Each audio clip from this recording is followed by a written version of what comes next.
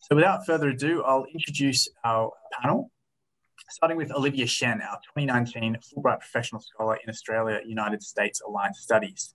Olivia is currently the Director of Data Policy in the Department of Home Affairs. Uh, her Fulbright proposal related to the nexus between technology and national security. Based at the Center for Strategic and International Studies in Washington, D.C., she used her time in the US to meet with think tanks, academics, and industry experts to explore the ethical and policy challenges of artificial intelligence. The aim of this work was to inform an Australian national strategy on AI and forge new AI partnerships between Australia and the United States. Thanks so much for joining us, Olivia. We've also got Dr. Taryn Foster, 2019 Fulbright postdoctoral scholar funded by Monash University. Taryn is a postdoctoral fellow at the Australian Institute of Marine Science. For her postdoctoral scholarship, Taryn worked with Dr. Rebecca Albright at the California Academy of Sciences on an idea to upscale coral restoration. Coral reefs are suffering from more frequent and extreme coral bleaching events due to climate change. In addition to cutting emissions, restoration is being explored as a means to boost recovery from coral bleaching.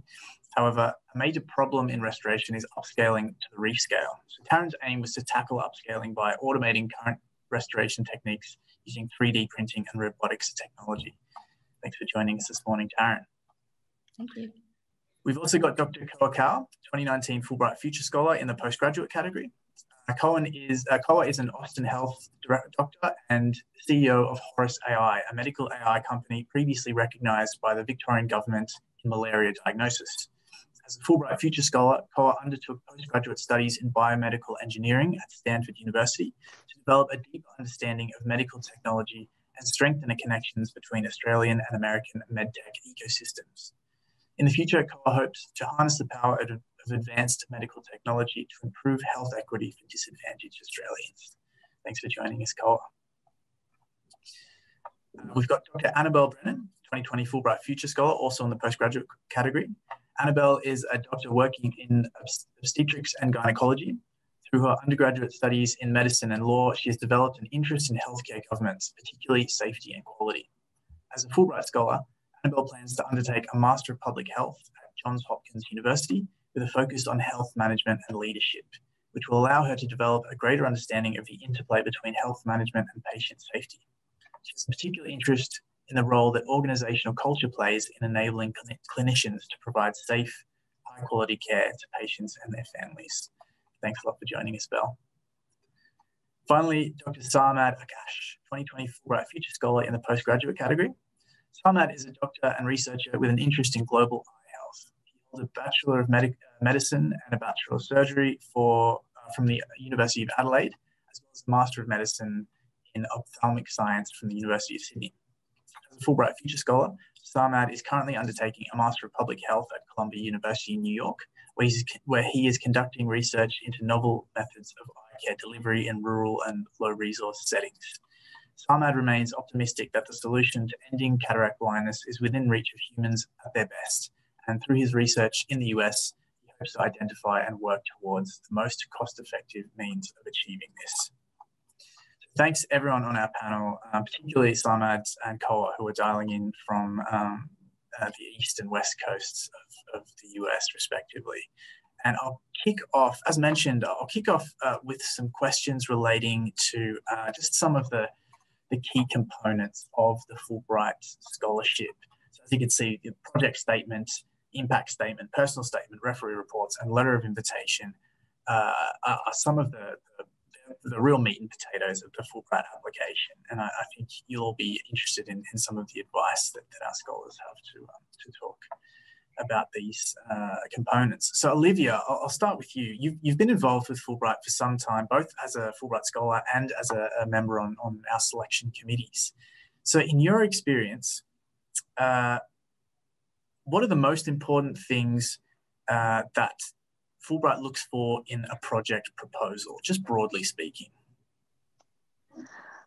Um, so I guess I've had the advantage of being able to sort of see this from both sides of the application process. Um, and I may have done it differently if I knew what I knew now.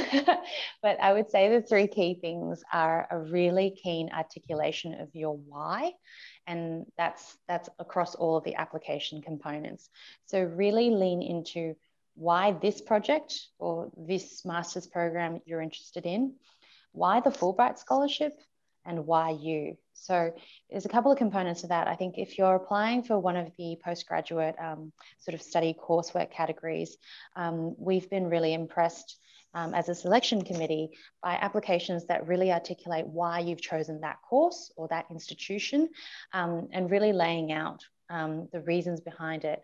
As a, and sometimes people can be a little bit they'll just say, well, it's really prestigious, but that's not quite enough. Like we want to see that you've done your research and really understood the why of why you've chosen this Fulbright scholarship and, and why this institution that you want to be hosted by. Um, and then on, you know, why you is again what you bring to this experience that will be unique. Um, I think that when you can articulate the meaning of that um, for the scholarship, um, that, that, that really shows in the applications that we see. The second part that I would say is the ambassadorial skills. Um, Fulbright is very much based on this ethos of empathy and cross cultural collaboration. Um, so you need to demonstrate that you're not just going to be a fantastic student or researcher at the institution you're going to, but that you're going to be an ambassador and a representative of Australia um, to the United States, and that you understand the ethos of Fulbright overall as a cross cultural scholarship program. The third thing I would say is passion. And passion is probably a little bit of that X factor that's hard to quantify. Um, but I can tell you that when we see it, we know it. Um, it's in the way you express yourself. Um, it's in the way that you can communicate really clearly um, about your proposal or about your project without being too long winded.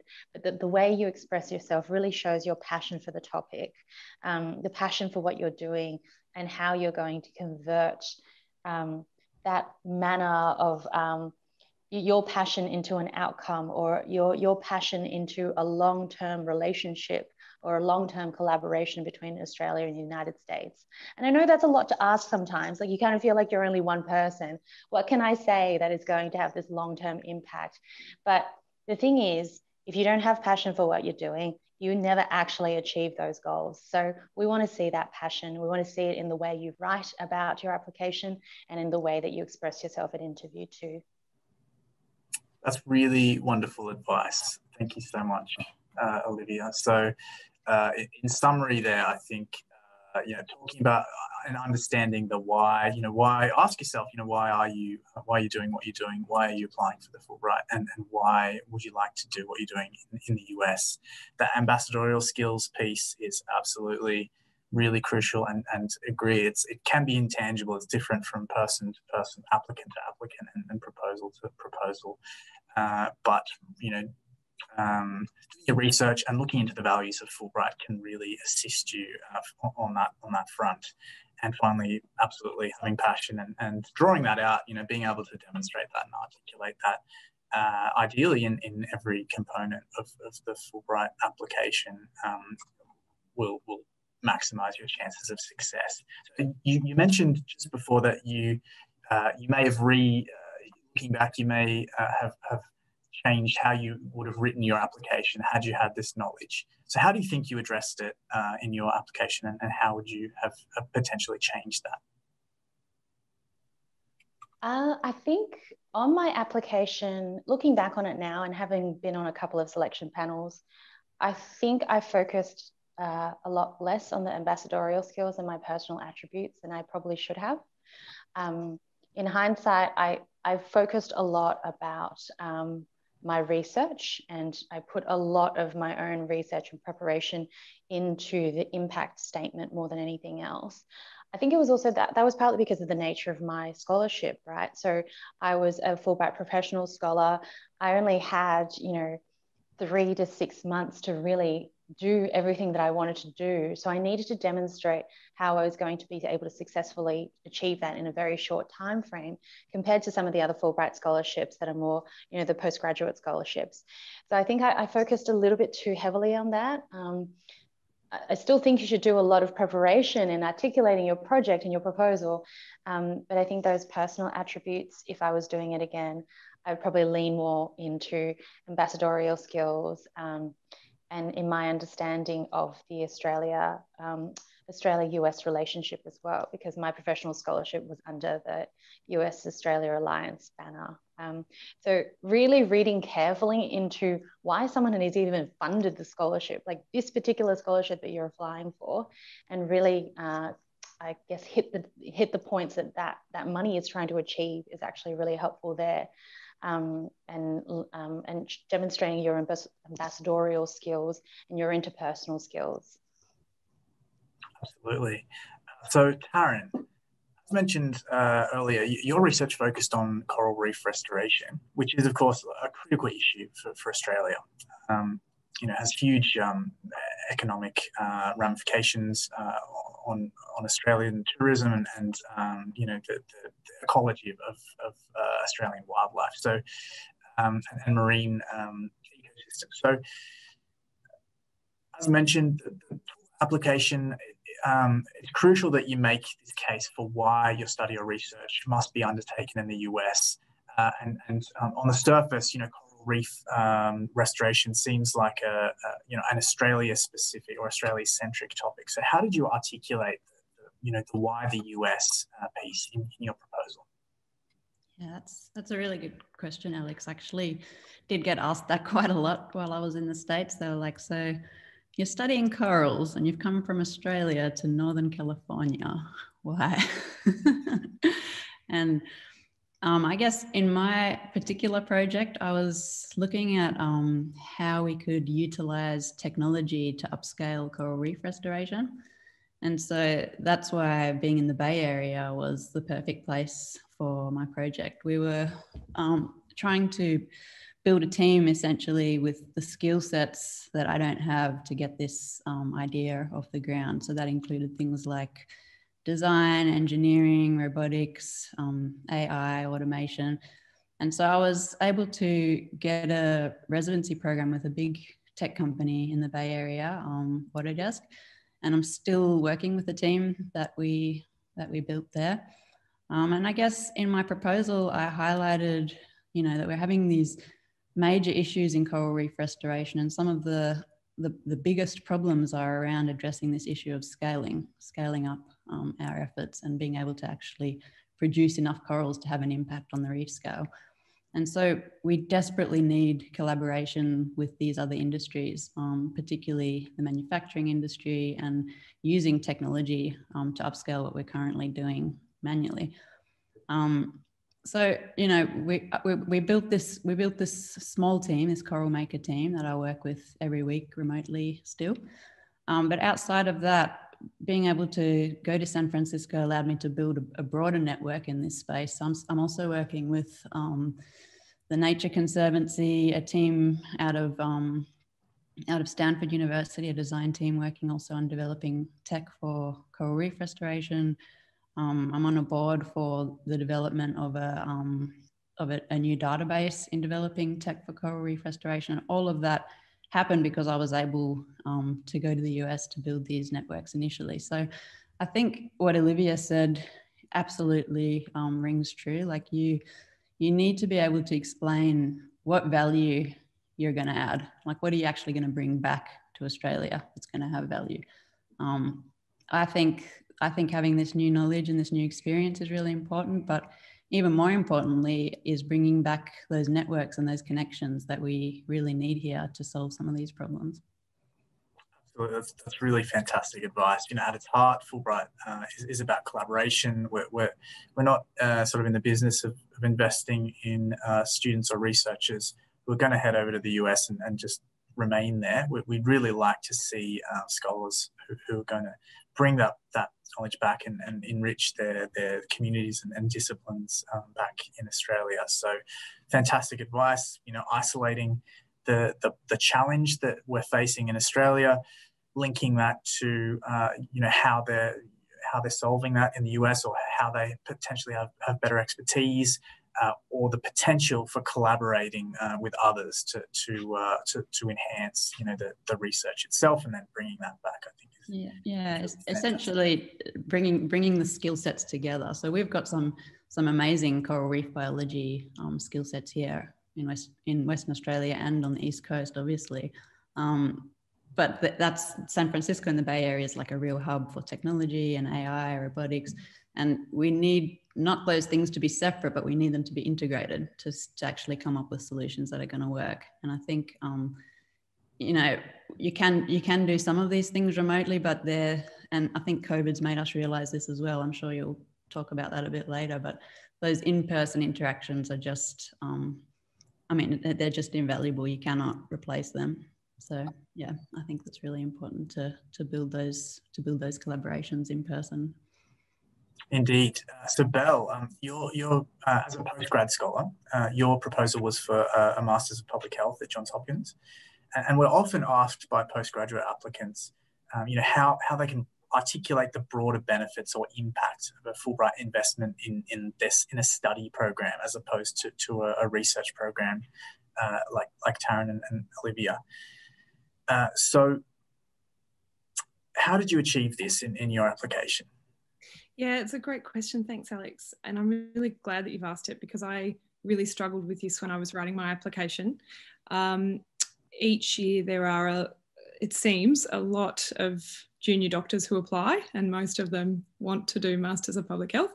Um, and so you, I already came into the application process probably struggling a little with how I could really differentiate myself. Um, and I think any of the junior doctors out there would would or may feel the same just in the sense that we all have to do very similar things along the way. So we all have a bit of research we all have a you know some one maybe an extra degree in something um, and and some other little things that kind of distinguish you. But but um, it's easy to feel like you're not doing something particularly different than a lot of other applicants. And that, and that's just not not true. Um, the first thing that I'd say, which really links back to what Olivia was saying, is, is really understanding the deeper drive or motivation for why you want to do the study. Um, and I think when, if there's people out there who feel that their topic is or their study is is maybe a bit more vague or nebulous, which is what I did, I think that's there's usually two things going on. Either you don't quite understand the real deep driver for why you're doing it. And that's okay. It often just takes a little bit of thinking about, you know, ask a couple of whys and try and get a bit deeper. The other thing is that actually you might just be interested in really macro system level changes. And that's okay. And I think sometimes it's easy to think that micro or targeted research, it's easy to identify the benefit. Um, and so sometimes when you have a, a really broad macro level interest, uh, I, I, think you, you can feel like you, you lose a bit of the value. And it's just not true. Both, both of those things are really valuable. So in my application, my, my first kind of iteration was really just that I wanted to upskill myself to take on high level health leadership roles to be able to restructure the Australian healthcare system. Started small. Um, but but that's really what I what I wanted to do, and that was my interest. Now, over the course of the masters, that has kind of reshaped itself into understanding how health management and leadership sets the culture and how then that culture affects the people using the system. So patients particularly safety and then clinicians working so clinician well-being. And that's obviously taken 12 months to kind of really nut out. Um, one of the probably the advice, bits of advice I'd say for the application. Um, I don't know if anyone out there has read um, or listened to Jim Collins, who I absolutely adore. Um, and he talks about big, hairy, audacious goals, right? It's, it's being brave to take on the huge thing that everybody says, wow, that just is so big and, and kind of crazy. But it, they're usually just waiting for someone to be brave enough to say, yeah, I want to tackle that and I think Olivia touched on it as well. I think for the application, the key then is saying, really set out the problem. So you need to be able to really nut, it, nut out what, what is going on, what is the problem with the healthcare system, as an example, what are the problems that, that you're currently seeing or experiencing or facing? And great ways to tell that are storytelling particularly if you're a medical um, if you're a clinician or any any sort of health clinician because you've often got great stories um, and then the next thing is really, and this goes to Olivia's three whys, right? This the next thing is really just saying why you are the, are in a great position to take that on. And then finally, I would be really, really clearly showing what it is that this study is going to do for you. So for me, I think one of the questions I could see was, you know, we can't really highlight which or identify which organization we want to go to. Um, and that's okay. And you might not know which one you're going to go to just yet. But for me, the, the US offered something really different to Australian MPHs, right? An MPH in Australia, um, a good example is JCU. So they have a particular interest on infectious disease. For my interest, the US is, is the, the mothership of management and leadership. And so I really was able to kind of clearly show what was going on, why I was in a really good position to be the one to take it on, and how going to the US and doing this course was going to upskill me or kind of give me the skills, make me better to be able to take on that challenge. Um, I'm sure you're going to say this at some point, Alex, but I'm, I will just flag I'm very happy um, if there's people who feel like their kind of theme is quite nebulous or they're, they're a bit worried about how they can show the specific benefits, I'm very happy to have people reach out. I can have a look at your application or we can chat. I'm, I'm just get in touch with Alex, but I thought I'd just flag and say I'm, I'm very happy to help where I can.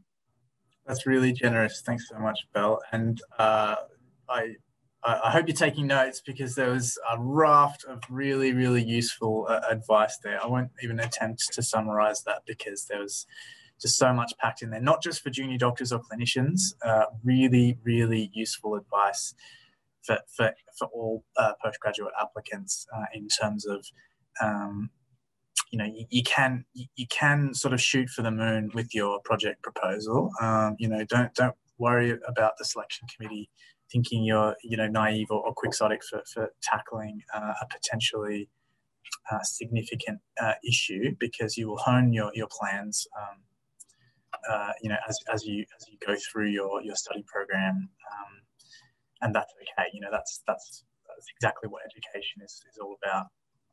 Uh, so Sarmad, um, you're partway through your, your two-year Masters of Public Health at Columbia. Um, I'd love to hear your thoughts on, on how you, um, you know, how you, you articulated the, importance of this investment in your, your education.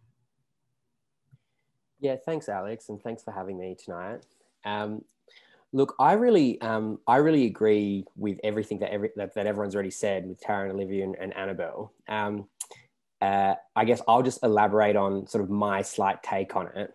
Um, and I, I might be paraphrasing what's already been said, but the way that I worked through mine, And I think is really useful when people um, ask me about, um, you know, applying for Fulbright, is is sort of actually starting in reverse. Um, I think, you know, when you go to write the question, it says, you know, why is this important? What do you propose to do? Why is the use important? And what's the impact? I think that if you can start with the impact and work backwards, it's really useful. And, and the reason I say that is impact is generally a result of someone's vision. So if you have a very clear vision of what you want changed, or what you think is a problem in Australia, or what you think can be improved, then you can say, if this is achieved, this is going to be the impact for society. So impact is going to vary considerably depending on your discipline, obviously. Um, but you know, you might be able to say things like, uh, like for me, for example, I work in um, in ophthalmology, and I worked in rural Australia a lot, and I in and you know I worked in Alice Springs and Darwin and Ballarat, and then I also worked in metropolitan centres in Melbourne, and I felt that what I was the potential impact. What my vision was was that everyone in Australia, given it's such a sophisticated healthcare system, and is such a high income country, that everyone in the country, regardless of their postcode, should have access to specialist services. And ophthalmology is quite a good example because it's there is so much eye disease in rural and regional areas that don't get the same benefit. So one sentence, that's the sort of vision or that's the potential impact. The potential impact is if we achieve that, then the, in terms of healthcare to rural uh, people living in rural regional areas, well, that's as good as it's going to get. Everybody has the same access to it. And then, of course, you try and, and, and um, you know, mitigate inequality. but you've got to have access first. Um, so if you can sort of start with that and say, okay, that's my potential impact. That's what's going to happen. So you know, if you're in, you you, you might be in, you know, another discipline. You say, I want to, um, uh, I want to, you know, change something that's really important in culture. Like you know, it might be like racism or sexism or diversity, regardless of what discipline you're in. Like that's what you want to achieve, and then you've got to sort of find a way of working towards that. Um, so you sort of if you work for that, and then you can kind of say, okay, in order to achieve this, these are the barriers, or this is what I think the barriers are, this is what I think that we can do in order to do it. And I think that can be that can be really hard to. And I think um, you know, Olivia and Annabelle both touched on this. It's sort of it's a bit can be a bit nebulous and be like, what could I possibly do in one year in the US to you know achieve this huge, you know, mitigate this entire enormous problem? But if you break it down into like in the short term, this is what I plan to do after returning from the US. In the medium term, and in the long term, that kind of gives you like some broad timelines for how um, change might occur if you think about it in those three stages. Um, so I think, yeah, try and be specific um, if you can with, you know, um, what the potential impact is depending on your discipline. Um, and then try and clearly articulate um, what, what the issue is that's preventing that impact. So do we need more research in this area? Do we need more funding for that research? Do we need do we need policy change? Is that policy change on a state level? Is it on a federal level? Do we need to increase public awareness? Like, what are the barriers to achieving the impact? Because then you isolate that in, in the why is it important, and you may just need to cite a study or two, or like you know, give some evidence as to why it's important. Um, and then you can sort of tie in the US at the end. US, you know, this institution, this program this supervisor, this laboratory, whatever it is, um, is going to help achieve the impact.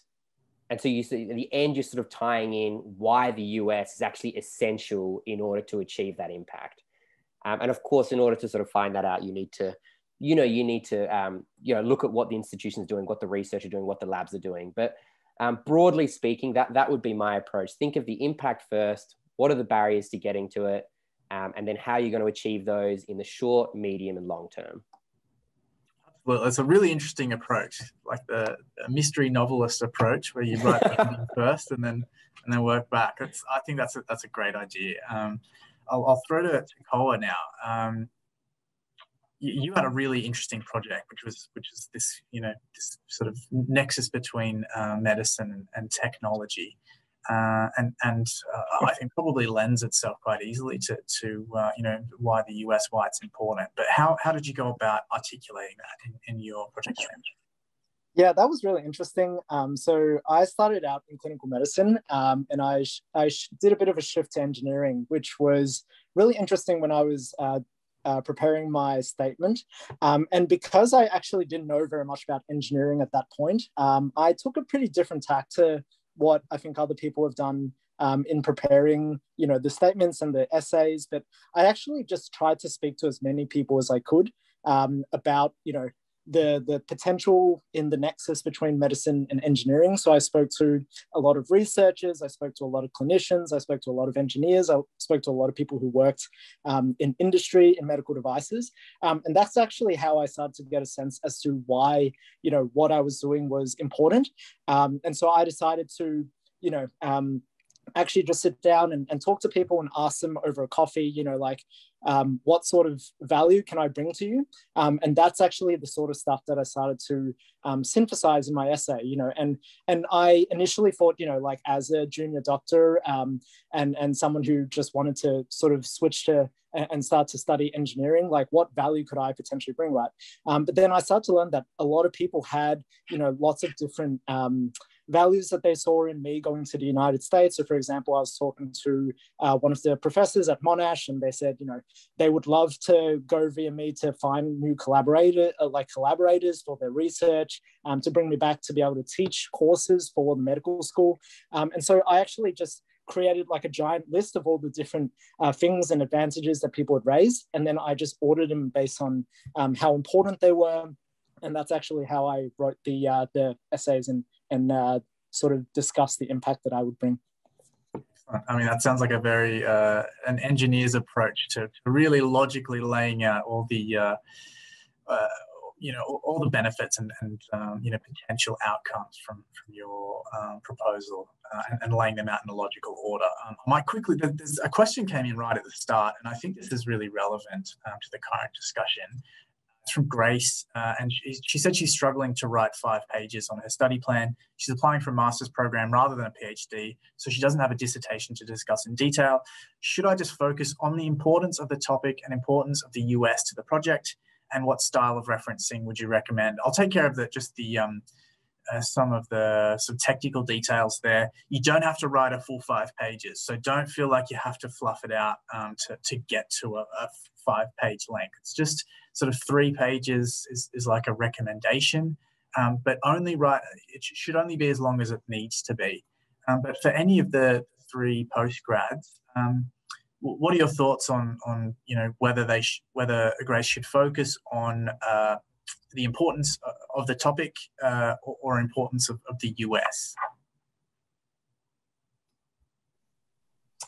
Uh, I could jump in for this. I actually think it's I, I, feel like both are pretty important in the application because um, often, you know, the importance of the project should be tied to why it should be done in the United States. Like the United States has a lot of different strengths that you can draw on in terms of, you know, whether it's industry or whether it's a specific researcher who's really good in that field that you want to um, that you want to work on. Um, and particularly in the United States, one thing that I found is quite uh, has been quite different is that master's students, you know, are very heavily involved in the university community, involved in university research, involved in university labs. Um, so there's lots of different I guess, advantages that you can draw um, if you really do your research on the university as well?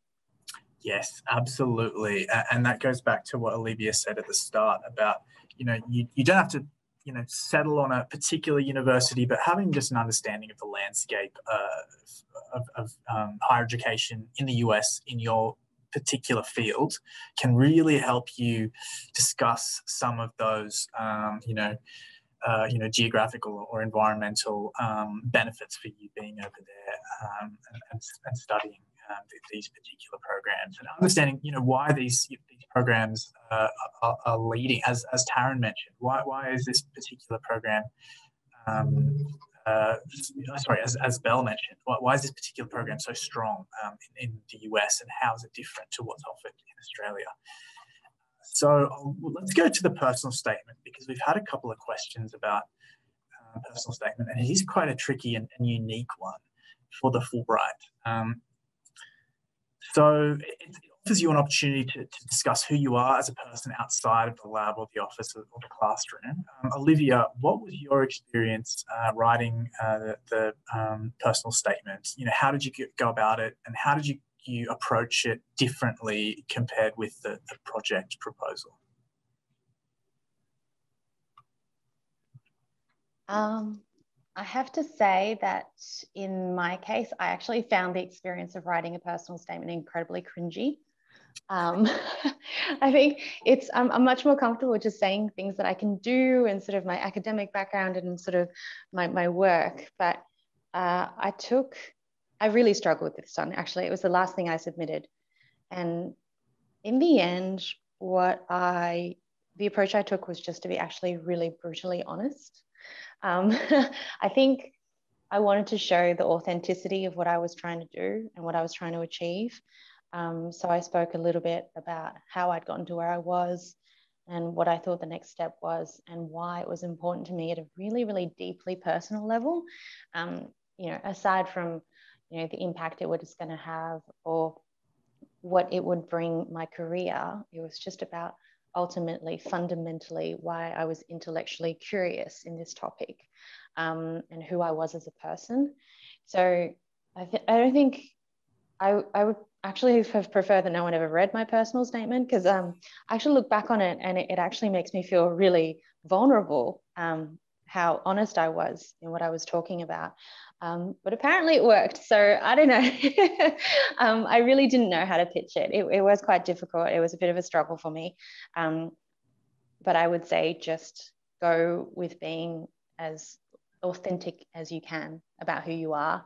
Um, and hopefully that's that's what that's what cuts through. I think that's wonderful advice, and and vulnerability uh, is is I think a key word. Look, you don't you don't have to uh, you know, be be vulnerable in, in your in your personal statement. You don't have to overshare or, or share anything that you're uncomfortable with sharing. But uh, so, something that's sort of unwritten about the ambassadorial skills, I think that selection committee members just um, just sort of holistically read into when when going through these applications is is seeing applica- applicants who who are willing to um, recognize who they are, where they came from, where they're going, and and and share that in a genuine and authentic manner is, uh, is a really um, good way to demonstrate your ambassadorial skills.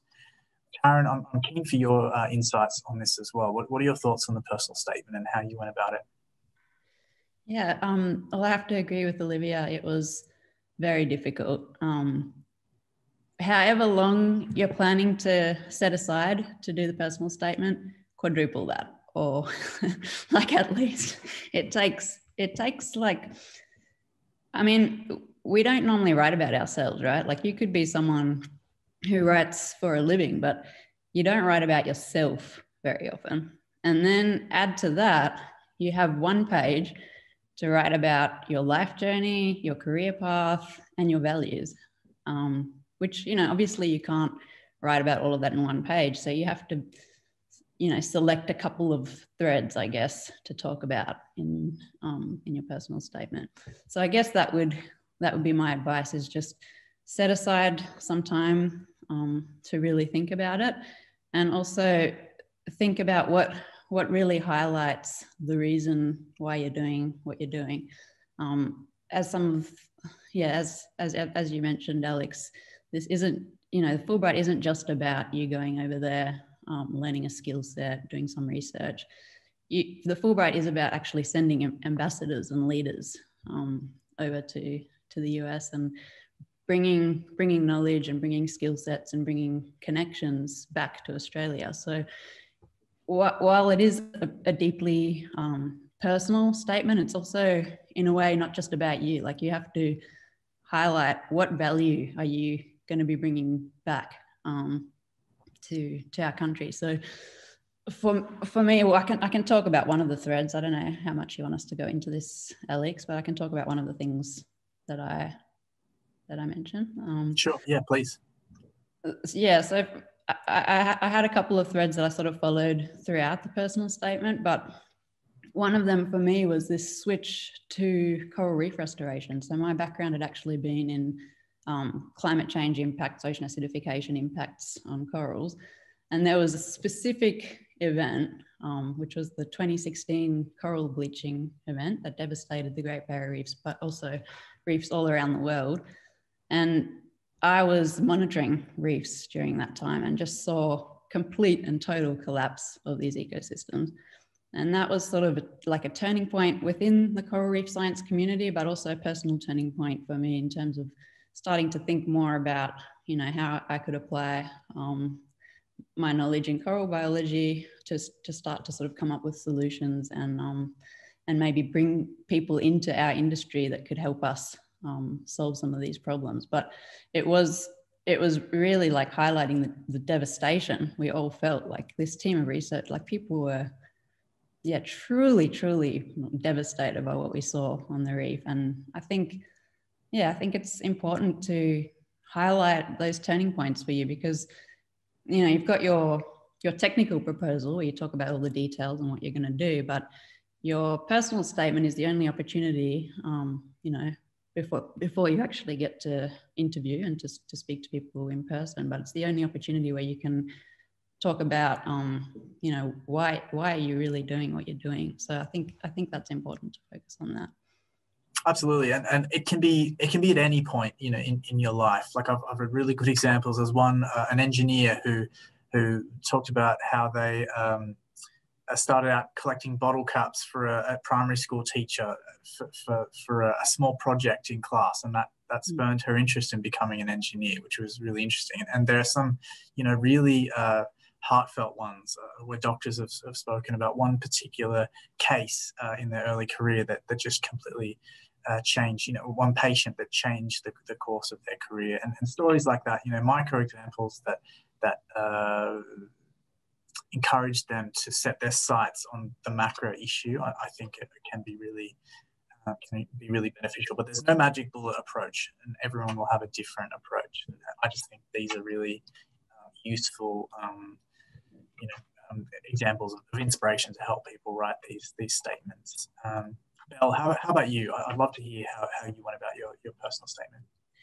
Yeah, look, obviously, I agree with the other two. Um, I think probably two things jump to mind. Um, one of my referees, who um, is one of my research supervisors and a supervisor at work, um, had said to me, uh, she, has been a very, very dear mentor, and she said to me, I, want you to try writing the referee letter first and email it to me, and I'll have a read. And I thought, oh my God, that's so awful. How do you write a referee letter about yourself to the person that you want them to? She's a very, also very high up in the specialty. She's very well, world renowned. And I thought, oh, this is mortifying. Um, anyway, I spent a lot of time writing this letter thinking, okay, I, I think I've, you know, I, I haven't oversold it, but I've, you know, what I got back was just the most beautiful thing I anyone has ever written about me, and I was really, really, truly overwhelmed at at the reference that she had written for me. Um, and I think that was just a really, really useful experience in what I had written about myself was really sterile. Um, it was probably quite bog standard and probably described a lot of people in in medicine, but also in other in other areas. And what actually what she had kind of highlighted about me were just really thoughtful, considered comments that um, that were much more reflective of, of the hard work that I had done and the type of person that I am and the future that I have. And that was just a really useful, I'm not suggesting everyone do that, but it, it's a really useful experience. And it made me actually think differently about my skill set um, and the values that I have. So I think um, just make it, it, it's more than your CV. Okay, you're sending in your CV the personal statement is not a chance for you to, like you would write a cover letter which is often again just a, re- a rehash of the things in your cv it's it's so much more than that and it's an opportunity for you to to take all of your skills but but show how how how that's you. You know you are more than the courses you've done. You are more than the the letters that you've got or the or the things that you can do. You are kind of one person all tied up and so one of the it's really hard to do but one of the things if you can look at your cv and look at your skill set and tie things together how did how does that skills that you can do relate to this um, really interesting experience you have? And how does that kind of link into some of the values that you have as a person? And so being able to kind of weave i think taryn mentioned as well weaving some threads and weaving it into a story um, it's hard, but but that's what's engaging. That's what shows that you have, as Olivia said, you have passion. Um, it, it takes time for you to sit down and think about it. But also, I think having spent now 12 months in the U, like with with US colleagues, I'm a lot better at selling my value and, and understanding my value. So I, I would say um, don't don't be afraid to to highlight what you're good at and highlight what is important about you and and show people that you are someone special and you have some big thing that you want to achieve. It's good. You don't have to be you don't have to kind of pull it back and, and kind of tone it down. That that one page is your chance to go listen up i'm here. Pick me absolutely and, like it's a really unique opportunity for you to put yourself on a page and, and really analyze you know where, where you've come from and, and where you're going um, but it's you know one of the, the hardest protagonists in a story you'll ever have to write is, is the one where, where it's you so I, I agree it's, it's, a really tough experience. Uh, what, what, are your what are your thoughts? I'd love to know how you you went about yours. Uh, yeah, yeah. So again, I echo the other sentiments. I think um, it's really hard to do the personal statement. Um, look, I, will I'll describe to you my first paragraph because for me, when I sort of sat and think about, it, I was like, why have I ended up where I am? Like, why am I doing this specialty? Why do I want to do public health? Like, what do I really care about? Um, and sometimes I think telling, you know, maybe your like family that or your partner that or at a dinner party, like you express a different answer depending on the situation you're in. And for me, I just sort of, I really just, I knew I was doing it, but I really had to like isolate it because you've only got one page, right? So if you do, you're like, do have an example of what really got you interested in whatever you're doing. Like, I think it's a good opportunity to describe that, um, like with some flair. My example was I was in medical school at the time, um, so I didn't really know what I wanted to do, and I, I'd always sort of been interested in cost effectiveness, like getting bang for buck out of medical treatment. It's like that's sort of broadly what I was into. Um, and I came across this journal article. It was an editorial. It was written by this ophthalmologist who, um, uh, and, and, it was essentially just, it, it, was talking about global ophthalmology, so eye care in low income countries. And he, the first, the first part of the editorial, I thought this was quite unusual because it was an academic journal, was a conversation between an alien and an ophthalmologist. Um, and in ophthalmology, you have this eye disease called cataracts, which is super common. It accounts for the majority of blindness in the world, and it's super easy to fix. It's like a 15 minute operation to fix it. Anyway, so this academic journal, and you know, obviously caught my attention because it was a discussion between an alien and an ophthalmologist. And the alien basically lands on Earth, meets this ophthalmologist, and sort of says, says to the ophthalmologist, like, what's your leading cause of blindness on this planet? And the ophthalmologist is like, oh, it's cataracts, obviously. And the alien looks at the ophthalmologist like, you know, quite a strange look. And he's like, that's really weird that it's your leading cause of blindness. We've got the exact same thing on the planet that I'm from, and we fixed it with a 15 minute operation. And the ophthalmologist is sort of like sheepishly, like, oh, we've, we've got that operation here as well. And the alien's like, why is it your leading cause of blindness? You know, it doesn't make sense. And that for me, I mean, that was just, I just read that and was like, that really doesn't make sense. um, and then I ended up hitting that, I ended up um, emailing that professor and, um, you know, expressed that I was really, really interested in it. And then I ended up actually going to Myanmar with him and did some work in ophthalmology there. And that sort of like, that was really the catalyst for me then kind of going into low income countries, doing the work. And like that really kind of is the reason that I am where I am now. Um, so I described a conversation between an alien and, and an ophthalmologist in my personal statement. And I described how I then emailed this professor, which then led me to go to Myanmar, which then led me to go to Ethiopia, which do you know what I mean? And I, without, I sort of, I wasn't just trying not to like indulge in like experience that I, experiences that I had had, but it really informed my sort of passion for inequity in access to eye care in the world. Um, and I think by the end of the page, that just came through really clearly. Um, so that was my approach. Like I really isolated one example and then the trajectory. Um, so that, that, I mean, my advice would be if you do have some sort of, you know, example that's led you to where you are or was profound in your academic or your personal life, um, and you can try and build on that, um, you know, try and be personable, be unique. And um, I think if you can do that, you'll be amazing.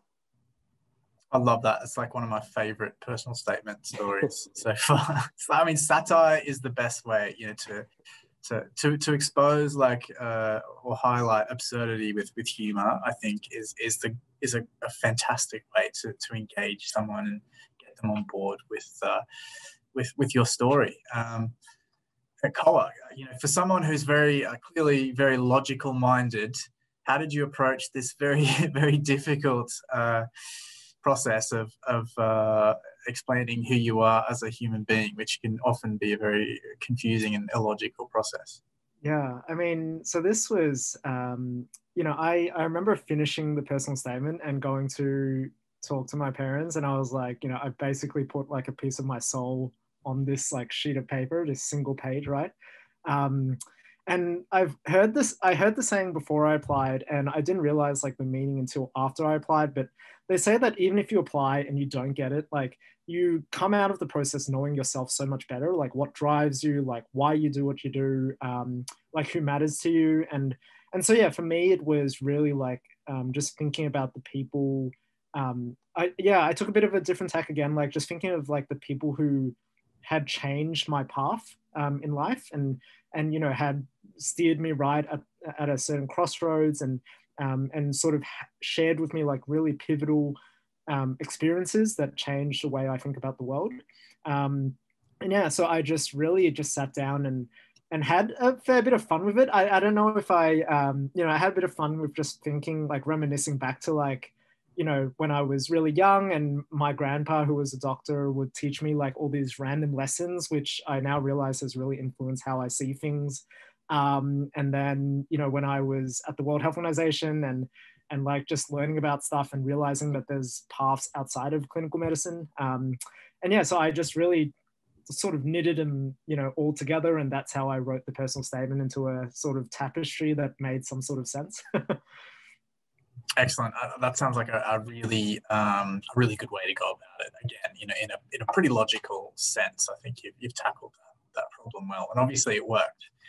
Um, look, I'm really mindful of the time. Uh, that hour just went by really quickly. Uh, so we're definitely going to go over time. But but if any of the panelists have to leave, then feel free to just um, just make the I have to leave sign and, and then and then sign off as soon as you have to. Um, but otherwise, I'll, I'll, just kick on. um, I'll, I'll, go to some audience questions just in case uh, you know some of the audience members have to leave. But I'll remind everyone that this session's being recorded and we'll, we'll upload um, to our YouTube channel.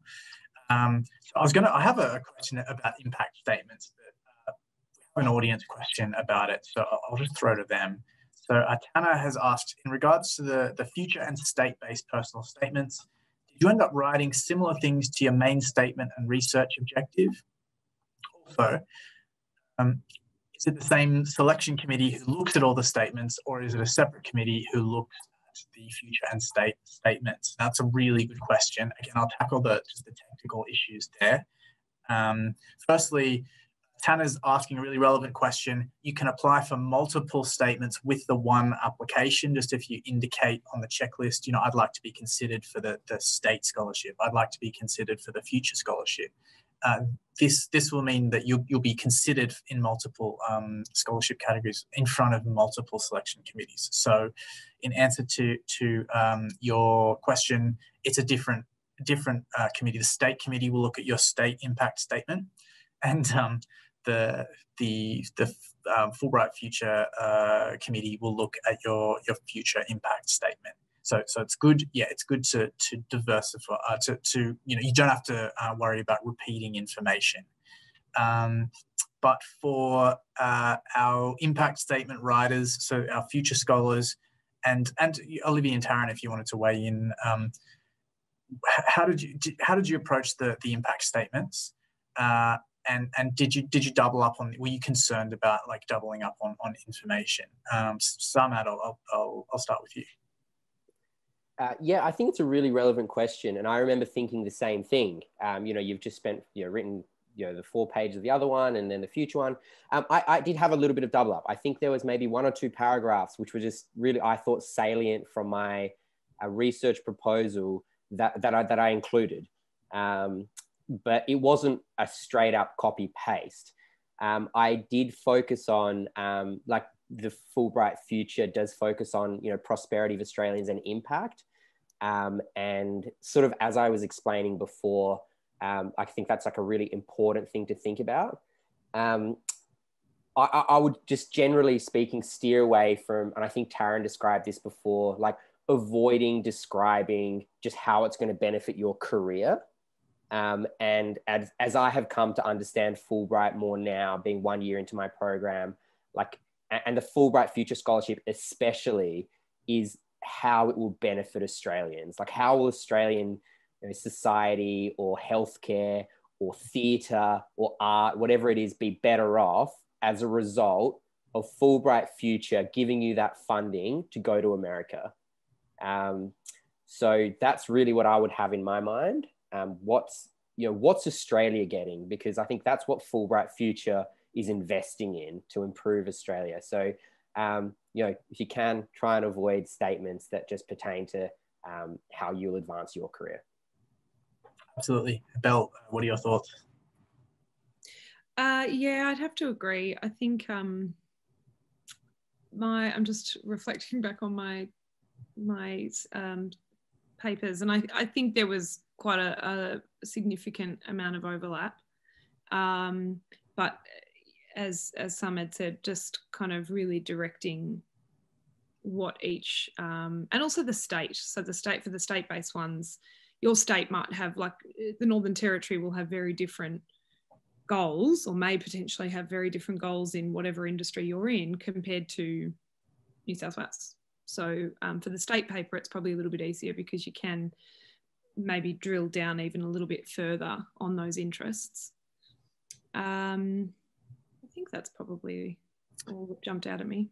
Yeah, absolutely. Textbook advice. You know, each state has uh, particular, uh, you know, social or, or economic or, or, research priorities. So look into those, and, and if your project fits within that the, the remit of, of what they're trying to prioritize, then um, you'll, you'll be able to make a really strong um, uh, articulation of, of, potential impact.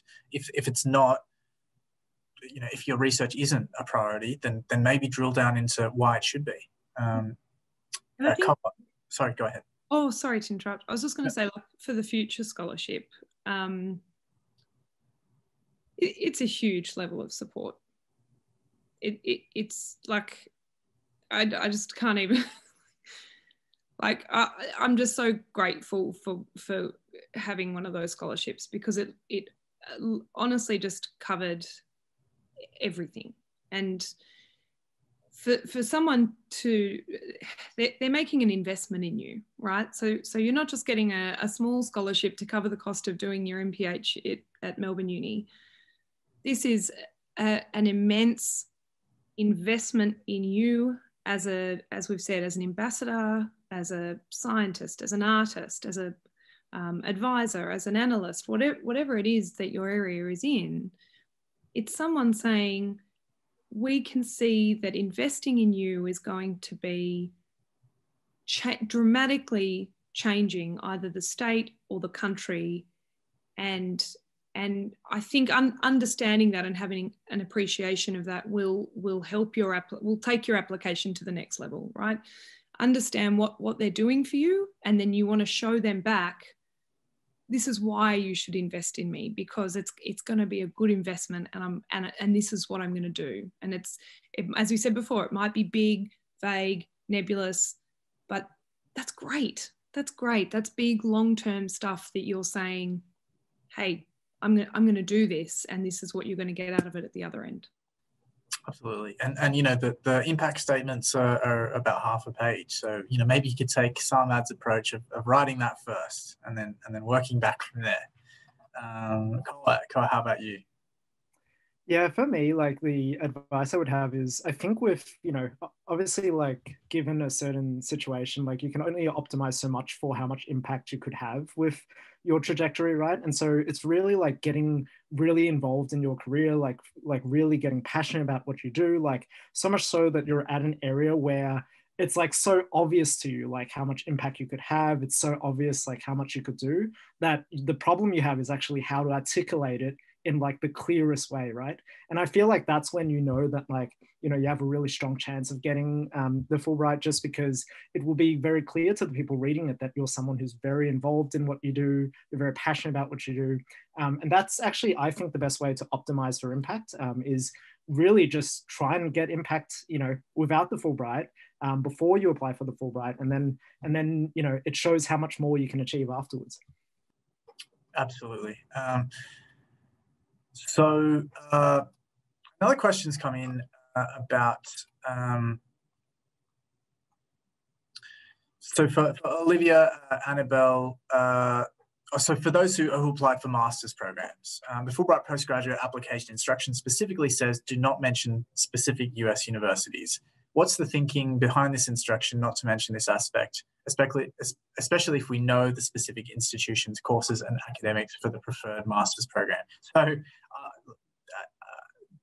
there's, there's a couple of things there. Um, the tricky thing about the Fulbright application is that it services 160 programs and every program is different. So some of the wording there doesn't necessarily apply to the Australian program. We, for instance, um, we, we disagree with, with that wording about not mentioning specific instance, uh, institutions. And the thinking behind uh, the, that um, from uh, the Fulbright global perspective is, which kind of makes sense, is that if you tie your proposal to one specific institution, I want to do a, an MPH at Harvard for these reasons. If you, if you don't get into Harvard, then your essentially your, your proposal collapses. Of course, there are other programs, but Fulbright are looking for for students who who um, uh, you know, are going to be able to, achieve their goals regardless of what institution uh, they're, they're, headed to. But um, as we've said throughout this panel, you can definitely mention uh, specific uh, institutions or programs just to demonstrate that you've done the research. And if anyone has any anything to add to that, uh, just let me know. Otherwise, I'll, I'll throw to the next question hopefully that answered your, your question uh, anyway. Um, another slightly uh, sort of technical question. I understand that the project and personal statements are critical, but I'm curious how much detail you look at the CV resume if we cannot elaborate on other relevant experiences in those documents. Uh, so um, I might ask Olivia for her thoughts on, on this one, um, but um, we tend to look at the CV in less detail than we look at the, the project and personal statements. Um, but it, it's good to demonstrate in your CV uh, that you know you, you have um, some experience outside of just your specific career trajectory. You know, if you've done anything, uh, any anything in the community, or, or um, if there's anything that demonstrates your ambassadorial skills, um, it's just good to, to show a diversity of, of, of a career trajectory, but it's not it's not 100% necessary. But Olivia, what, what are your thoughts from reading applications? Uh, yeah, I would definitely agree with that. Uh, I think we focus a bit more on the impact statements and the personal statements rather than a CV. Um, I think it's partly also a recognition that you know you, you send your CV out for job applications, whereas this is a bit more of a holistic scholarship program, um, and some things that people would um, exclude from a very professional looking CV, they should actually absolutely definitely include in a Fulbright scholarship application, including the things you talked about um, in terms of your community involvement, um, things that you've achieved over and above beyond the professional setting is actually some um, things that tend to sort of capture the imagination and the attention of a selection panel. Um, so yeah, it, the CV is probably less important in that sense. Um, I actually, in the in my shortlisting process in my head, I actually just do a little bit of a cross reference with the CV. Like, you know, if there's things that are interesting to me that haven't been mentioned, it's something I may make a note of. Um, but yeah, I, I think it's probably less of a focus. Absolutely agree with that. Um, so again, just a few more technical questions, which I'll, I'll run through. Um, does the committee keep the balance between different disciplines in awarding a scholarship or not necessarily? I think yes. I think we, we try not to award, you know, 50 scholarships to, to, um, to law um, graduates or, or, you know, just uh, only uh, all of our scholarships go to, to scientists. And in order to, uh, to, to you know um, improve equity. You know, we don't want to eliminate a, a, candidate just because they're as good as a you know if there's one lawyer who's as good as another lawyer. So really you know um, in order to improve that we've just been expanding the scholarship program uh, as much as possible over the past five years. So it's gone from from about 50 scholarships a year um, to about 150 so that that is just additional scholarships for everyone who who you know we can possibly award a scholarship to um, based on merit and, and ignoring um, discipline. uh, in saying that, you know, we, we, we just, we, we like the, the cohort to represent an accurate cross section of, of the academic landscape in Australia. So, um, and, and, you know, the, the number of the, the, disciplines have applied to the Fulbright program. So uh, in, in that sense, um, you know, we do try to, to make sure that there's a little bit of a, of a balance um, in, each cohort. Um, so another one, is it is it necessary to provide an impact statement uh, if you're not applying for additional awards? No, if, if you're not applying for, for any, uh, the, the two or three awards that require uh, an impact statement are the, the future program, the state scholarships, and um, uh, actually, there's a couple. I think there's there's a, a Monash postdoc now requires a, a, an impact statement, and the Deakin postdoc as well. Um, but just make sure you're reading um, on the, the individual award pages to see which ones require an impact statement, and the general category does not require one. Um, what are some of the country-specific materials and additional materials? Those are simply spots at the end of the application where you can upload your impact statements. Again, the, the portal is services 160 programs, so they've just provided little spots where country country specific uh, materials such as these impact statements can be uploaded. You can also upload any additional like portfolios and stuff like that if they're relevant. Um, uh, last question was about uh, your passport. I've renewed my passport in the last two weeks, not expecting to receive an addition, an updated passport. Um, should I submit my outdated passport? Yes, that's fine. With technical issues like that, we can we they'll come out in the wash. We can we can sort out. You know, if, if you you've applied for your Australian citizenship or, or something like that, and you just haven't quite yet received it, or you haven't quite received your updated passport, just up, upload any documentation we can and we'll, we'll question you uh, following the application process if, if you're successful in, in, in, proceeding, but you won't be eliminated for any technicalities like a, you know, a slightly, um, you know, you haven't received your transcript yet or, something like that. Uh, should I include an academic transcript from a former university from 20 years ago? No, you don't have to. Not, and I wouldn't recommend doing that unless you reference it in your um, application or, or if, you know if you got super outstanding marks and you just want to you know show it off then, then feel free to upload it. You won't be penalized or um, a couple of different instructions. One says personal statement is one page the other two pages. Please confirm it should be one page. It can go over a little bit but i'd recommend one page. Um, Okay, what about recommendation letters? And I, I had a question about this. So let's just cover recommendation letters because it's a really important uh, topic. And, and just to confirm with the panelists, are you, are you we've, we've gone over time by about 10 minutes. Are, are you all still okay to, to, to carry on? Yeah, all good. Awesome. Yeah, Olivia, I'm worried about you. You're a very busy, busy lady. No, all good.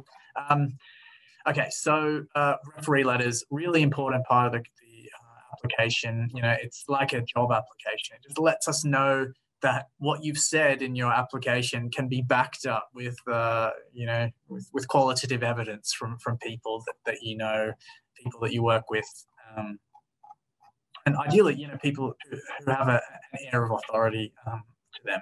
It's not necessary that you have to go to the vice chancellor or something, but it's good to know that, that a supervisor um, uh, or, or, department head or something thinks highly of you.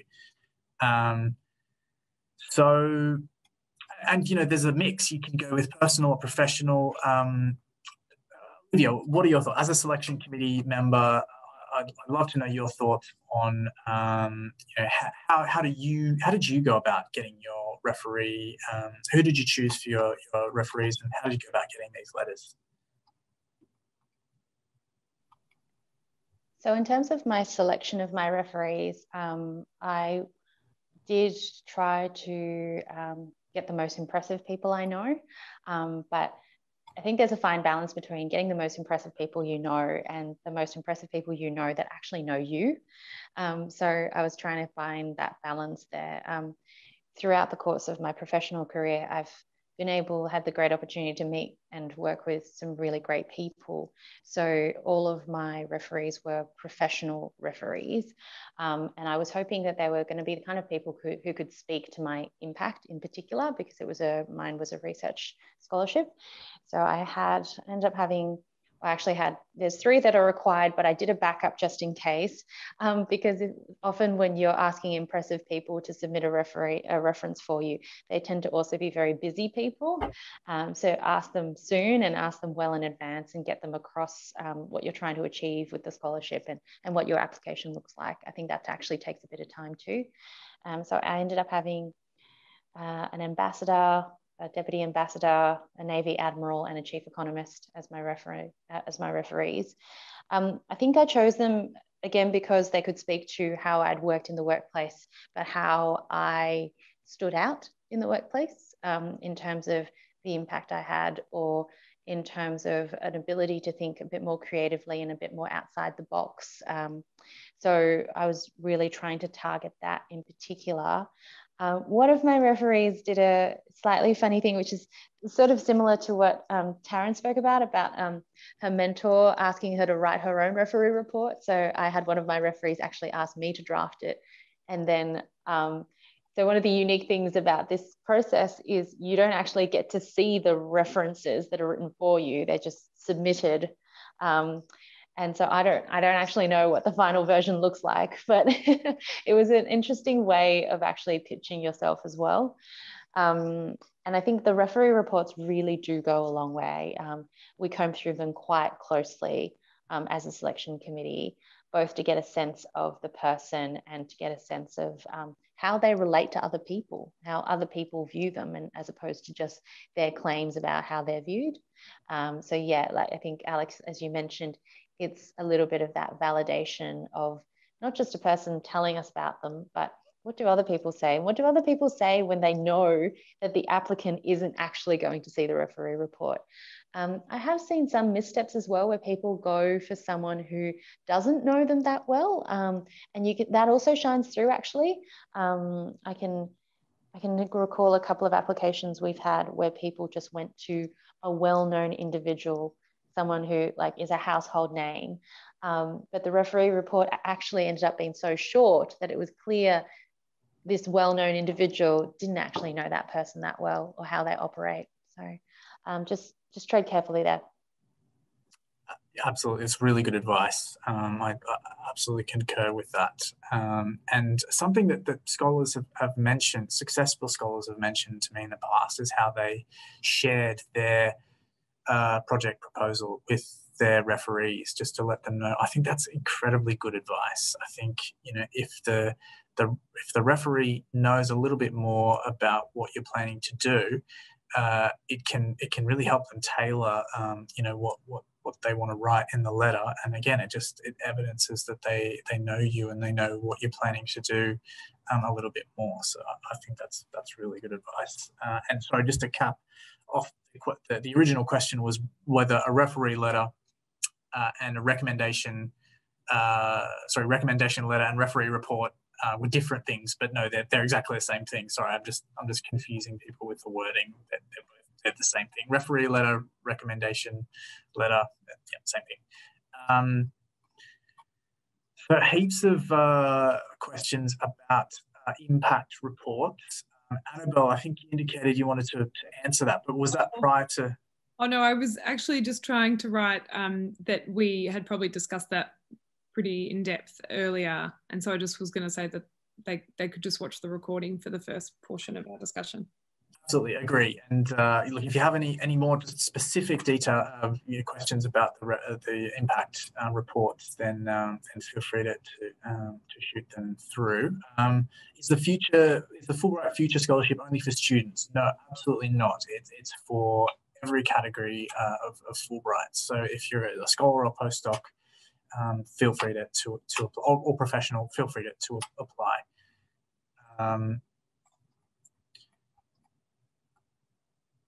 So again, the, future impact report, you need to give details on the study design or focus on the impact of the study. Does the panel also see the proposal?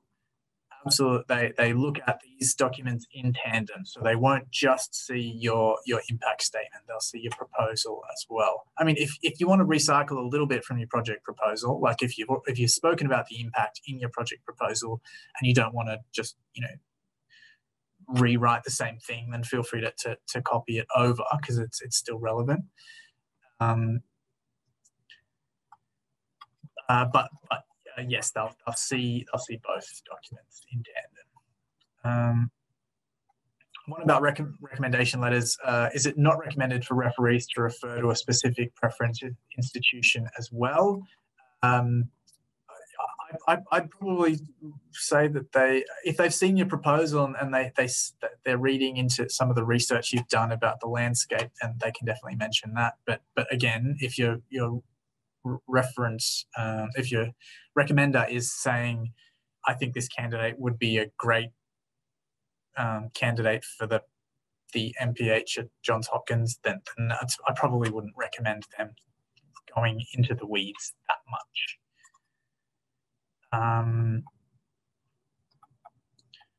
so the application portal, appears to indicate the impact statement is part of the three to five page study plan uh, for general postgraduate and postgraduate future. Um, however, the discussion appears to suggest that this is a separate document. Uh, can you clarify how the impact statement should be included? Uh, so um, project plan, your, your study research proposals, that they are indeed a different document. And as mentioned just, just now, you can include the impacts, you know, you can articulate the impact and, and the why of, of, of your research in your project proposal, and we recommend that you do so. The, the real function of these impact statements is that when we collate all of the, the applications at the end, it's just really useful for us to, to give um, to, to isolate these documents so that when the selection committees are reading them, they can say, okay, project proposal, boom, boom, boom. You know, here are all the boxes it ticks. Um, personal statement, boom, boom, boom. Impact statement. Okay, they're applying for the future. So, so what is the specific impact? In that sense, I'd recommend when you're writing your project proposal, helps to include headings, just again, so you can further isolate some of the important details within your project proposal. Um, does anyone on the panel have, have uh, any any insights into that? Just about, um, I, I, guess, just about uh, you know how, how you you you know whether you you include a lot of detail on the impact in your proposal, or, or whether you you would save some of that for the impact statement. Um, so when I uh, answered my uh, proposal, I um, I just divided it into four headings, and I actually wrote the headings, um, and I just found that helped to answer the to write the application. So it was why is it important? Um, why do you what do you propose to do, and how do you propose to do it? Um, why is the US important, and what's potential impact? And I answered those four in my proposal. Yeah, absolutely, and I think we covered a lot of that uh, in the discussion. So again, go back to recording if um, some of that is is unclear. Um, a letter of recommend, recommendation from someone in your own organization is that a negative? Absolutely not. I mean, we we expect to see letters of recommendation from people in, in, in your own organization. It helps if you can find at least one outside of your organization because obviously your university or, or institution has a vested interest in, in, in seeing you, you know, seeing this investment in, in your, your capabilities and knowledge. But you know, if you can't, there's another question here which is really relevant. If you're early in your career, second year PhD, would it be okay if three letters are from your own institute current supervisors and a former honors supervisor? I think I think it's fine. I mean, you might might find that you can find a personal reference or or a, um, someone outside, you know, a, colleague you've worked with or a collaborator um, that might just balance it out a little bit more. Um, yeah, panelists, do, do, you have any any any comments on on, on finding yeah, Taryn? I, I did have something to add. I think so. I did pick all professional referees. I had um, people from my workplace, like bosses and um, my old PhD supervisors. Um, I think you do have to have a mix of people who know how you work, people who know you professionally, and people who know you personally. And if it's someone who knows you in both ways, then that's great. Um, but one thing I will say is that you need to have at least one referee who knows, like, not just where you've been, but where you're going, because it, they could be different things. Um, for me, I was jumping completely in the deep end. Like I had this this research, um, you know, pure coral biology background, and I was going into, you know, robotics and engineering and technology development product design. Like, of course, I had no idea about any of those subjects, and so I think it's really, really valuable to, like you like you mentioned, Alex, either to have them look at your project proposal, so have sort of a, a glimpse into what you're planning um, but just someone who understands like your vision for your future and can support you and and trust you um, or trust in your capabilities to deliver on that even if it's something you haven't done in the past Absolutely. Um, it's a really good question, and it's a tough one, actually. Um, given the advances in online communication that's come about since COVID, are you finding that it's more challenging for applicants to justify being in the US in person? Yes, I mean, last year, um, uh, like I don't think the sort of full ramifications of, of COVID had settled um, by the time the application due date rolled around. Uh, Annabelle, I think you applied mid COVID, so I'd love to hear your thoughts. Yeah. Yeah, I was actually going to put my hand up to speak to this. I think I'm probably the only one on the call that didn't physically go to the US. Um, so I had wanted to do this study with a Fulbright scholarship for about 10 years. Um, so I, I was at uni, I did a double degree with my medical degree, and about halfway through that, I thought, I want to go to the US and do this master's because, as I said, um, it's just very, very different um, uh, stu study mix, or I suppose um, topic mix than than most of or any M MPH that's offered in Australia. So I, I, knew that the US was going to be uh, offer something that I couldn't get in Australia, which is not going to be the same for everyone, but but if that's the case, then that's what you hold on to. Um, I I was set to start in the June, so it was all I did a complete coursework MPH, so there's no research component. I was set to start in the June, July, and then in the end, we pushed it to September. And then the numbers just got worse and worse and worse. Uh, and then Hopkins were completely online until January.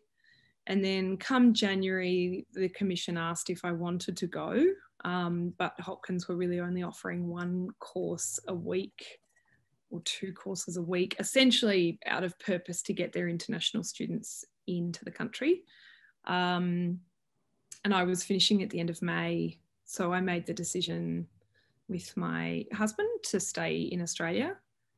Um, that's not going to suit everyone, and, and, it was a very, very difficult decision to make. Um, there is still a lot of um, emotion tied to that, but um, I would say uh, it was a different a different experience to what I expected, but it was just a, an absolutely stellar year.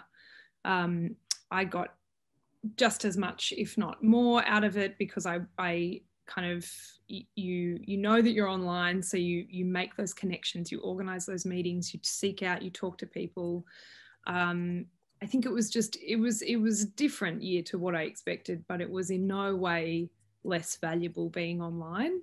Um, so I, I, think it just so depends on on every individual's if you're going to meet a particular person or work in a particular lab okay you got to go but but if you're doing coursework don't be put off by by um, you know the the potential um, doing it online. I think just be open and that's the whole purpose of fulbright right? Be open to different experiences and some of that means you just have to shift your headspace and you and you have a something you didn't you didn't expect but it will all be valuable. Absolutely agree with that one thing we haven't touched on is uh, the letter of invitation which which is only relevant for, for scholar applicants so Taryn you'll be best placed to answer this uh, how did you go about um, you know, securing this letter of invitation uh, from the, the Cal um, Institute of the Sciences. Did, did, you have a prior relationship with them or did you just reach out and, and, um, and ask? Yeah, so the coral reef science community is quite a small one. so I actually did know my host. Um, her and I had both worked, um, Rebecca Albright, her and I had both worked at the Australian Institute of Marine Science, but on different sides of Australia. So I was in Western Australia and um, she was at AIMS in Townsville. And we also had like very similar career um, trajectories. So we'd both worked on climate change and ocean acidification impacts on corals. And then we'd both sort of switched our focus as sort of the situation with coral reefs um, declined, and particularly after the 2016 coral bleaching event, we both started focusing more on coral reef restoration. Um, and she was like several years ahead um, in her career. And so I did I did know her previously um, from afar, but we we also had we also had um, interests that were really aligned, and my interests were also really aligned with the California Academy of Sciences um, as a host institute as well. So Cal Academy focuses um, a lot on restoration, not just in the marine world, so not just on coral restoration, but also um, terrestrial restoration, and they call it rewilding there. Um, and so I think I think definitely um, reach out to people within your network if you have someone that you would like to work with, or if you can get like a you know, if you can get an, an, introduction email or something like that, I think it's helpful to get a toe in the door. But more importantly than that, I think you need to really align with people who are interested in your um, in, in your area and have similar similar goals to you. I think that alignment is is more important, whereas introduction is sort of that, sort of just gets them to open their email, I guess, but they're not going to they're not going to host you if they're not interested in what you're doing. So I think do your research and um, yeah, pick pick an institution and a host that um, that sort of shares your values and your goals. Definitely, something yeah, someone that shares uh, your values, your goals. Um, there's potential synergy uh, and and let them know that you're applying for a Fulbright scholarship because it's a really really well known program uh, over there with a with a really solid reputation, and um, you know that that might really spur their interest in in supporting um, and hosting uh, the work that you'd like to do.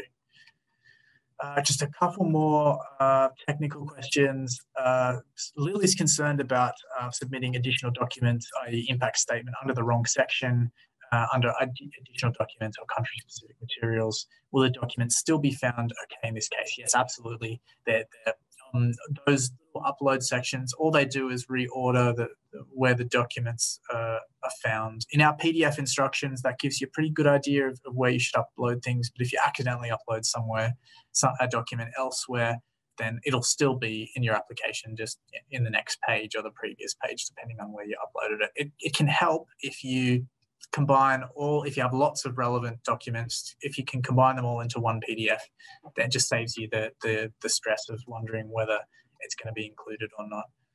And no, you won't be penalized if, if, you, if your documents are you know, in, in a different order. Um, okay, two more questions uh, about the letter of invitation, and then we'll wrap up. Um, an academic reference essential for a postgraduate graduate application, or should the best possible references be prioritized if you didn't develop a particularly strong relationship uh, with any uh, professors during university?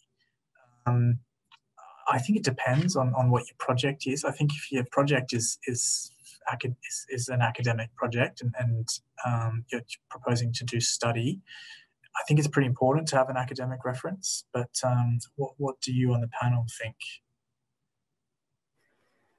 Um, so I was a post, I'm, I'm a postgraduate, I'm doing an MPH and um, I didn't have any uh, research supervisors for mine. Um, uh, I can't remember who told me this, but when I was applying, somebody said to me like references is a good opportunity to fill gaps in your overall application like if you're sort of trying to communicate like who you are what you're about you know your research experience your professional experience like if you think that after you've done that all and you've got gaps in it like you can try and fill those gaps with referees. And i think that's what i ended up doing. So um, for what that's worth i had i, I erred on um, professional references. I think well, there you go. That's that's really great advice. And obviously um, some adds a, a, case study in success. So no, it's not important. Uh, you don't have to have a, an academic reference if uh, you if you feel that your you know your your value as a candidate can be articulated through a more professional lens or, or um, uh, you know a, a, personal lens perhaps if your project is is more you know along the lines of, of something related to, to empathy or, or, or social interactions um, uh, and just one final one. It's a really good one. Um, uh, in terms of the letter of invitation is acceptable is it acceptable coming from the project leader or must it come from the head of faculty? Uh, i personally know the project lead and i think it's best coming from them because i'll be working with them if i get there but uh, will it be taken more seriously coming from the head of school? No i, it, I think it can be definitely the project leader um, particularly because uh, the, the best some of the best letters of invitation that i've read um, are where the, the person who, who is writing it um, is uh, is really enthusiastic about the research. If they're, you know, particularly if they're involved, if, if they know the candidate, even if they don't know the candidate, but they're but they're they're like, wow, I'm really excited to have this this person um, bring this expertise here and you know use our equipment or, or work with us. Um, I, I, think that that's really effective. So yep, absolutely go, go for um, really the, the only requirements for the letter are that it be on on university letterhead and you know there's contact information you know we can verify that they, they're keen to host you for the duration of your scholarship but besides that um, it, it can be it can be anyone uh, who's involved in the research and, and um, you know has has some level of authority to, to to to host you there